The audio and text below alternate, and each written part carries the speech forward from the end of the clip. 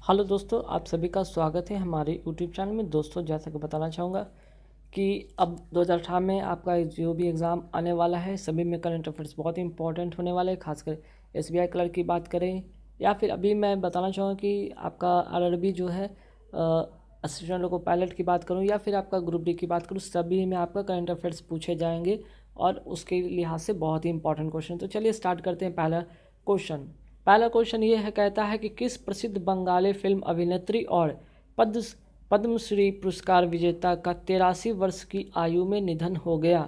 तो इसका जो सही आपका आंसर होगा, वो होगा डी। ठीक है? सही जो आंसर होगा, डी। सुप्रिया देवी। चलिए आगे बढ़ते हैं।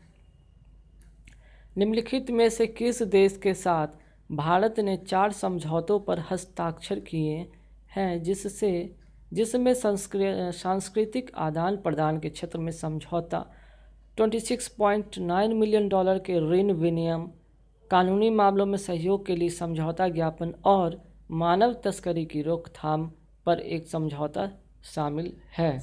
तो इसका जो सही आंसर होगा, सी होगा कंबोडिया। ठीक है? चलिए आगे बढ़ते हैं क्वेश्चन नंबर थ्री पर। क्वेश्चन नंबर थ्री कहता है, निम्नलिखित में किस राज्य सरकार ने राज्य में महिलाओं की सुरक्षा के लिए शक्ति ऐप का, ठीक है, शक्ति ऐप का शुभारंभ किया है। तो इसका जो सही आंसर होगा दोस्तों, उसका आंसर होगा इसका हिमाचल प्रदेश, ठीक है। चलिए आगे बढ़ते हैं। ऑस्ट्रेलिया ऑस्ट्रेलियाई ओपन 2018 में रोजर फ्रेडर ने पुरुष एकल के फाइनल मुकाबले में मारिन सिलिक को हराया। मारिन सिलिक किस देश से हैं, ठीक है?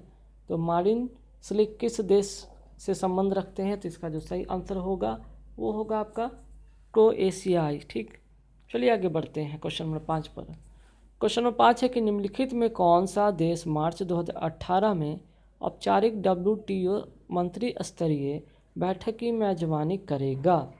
तो जो इसका सही आंसर होगा, वो होगा आपका डी, भारत, है ना? चलिए आगे बढ़ते हैं।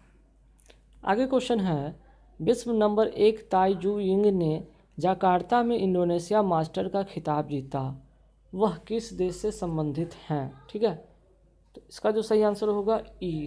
ताइवान से ये संबंध रखते हैं। आगे बढ़ते हैं। साठवीं वार्षिक ग्रेमी अवार्ड हाल ही में न्यूयॉर्क शहर यूएसए में आयोजित किए गए थे। समारोह का मेज़बान कौन था? तो इसका सही जो आंसर होगा जेम्स कॉर्डन, ठीक है? आगे बढ़ते हैं। साठवें वार्षिक साठवें वार्षिक ग्रामी अवार्ड में डैश को सर्वश्रेष्ठ संगीत फ़िल्म से सम्मानित किया गया। दोस्तों तो इसका सही आंसर होगा बी, द डेफिएंट वंस, ठीक है? चलिए आगे बढ़ते हैं।